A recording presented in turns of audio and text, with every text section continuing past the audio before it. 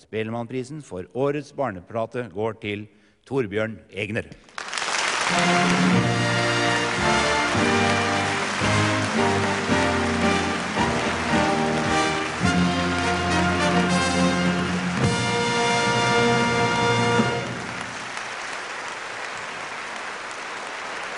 Ja,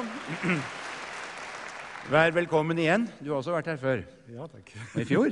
To år siden. To år siden var det. Tiden går. Ja, det har ikke forandret seg mye. Um, I fjor fikk jeg igjen den. ja. Det var, eh, det var eh, jo en internasjonal suksess du har fått dette, denne Kardemommebyen. Den er vel det. Hvor mange språk er den utgitt på? Nei, jeg vet ikke. Den er utgitt på en 12-15 språk, vel? Ikke mer. Det er jo ikke så ofte vi, det er jo ikke så ofte vi når utover hjemlandet. Det er ikke allerede Henrik Wergeland som klager over det, som sier at vår tale eller vårt språk når ikke lenger enn ånden i en kald vinterdag. Man ser liksom det smuldrer igjen foran seg.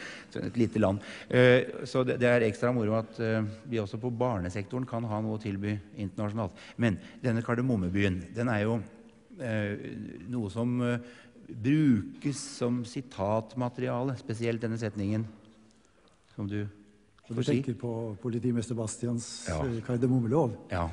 Man skal ikke plage andre, man skal være grei og snill. Og for øvrig kan man gjøre hva man vil. Ja. Det er jo ja.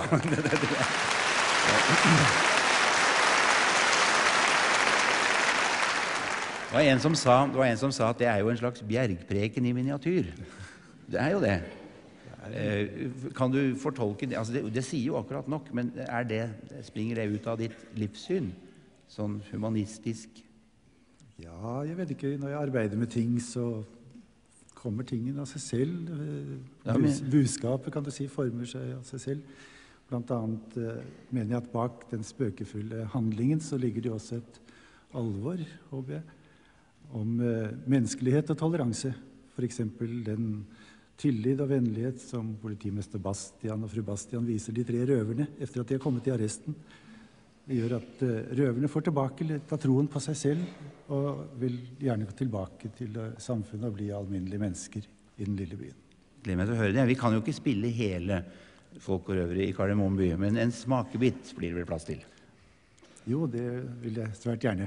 Men først vil jeg gjerne si at eh, prisen vil jeg absolutt dele med alle de trofaste kardemommefolk som har vært med på platen. Det er Arne Bang-Hansen, det er Knut Risan, det er Magne Blennes, Astrid Folstad, Eve Engelsborg, det er Per Aspelin, og det er eh, Wilfred Breistrand og, og store og små ellers. Og ikke minst er det jo Kardemomme Byorkester under ledelse av Egil Monn Iversen, som også har arrangert platen. Og jeg vil også gjerne dele prisen med, med han som har stått for hele det tekniske her, Jan Erik Kongshaug, som har flettet de mange opptak sammen på en så fin og levende måte. Vi gleder oss å høre.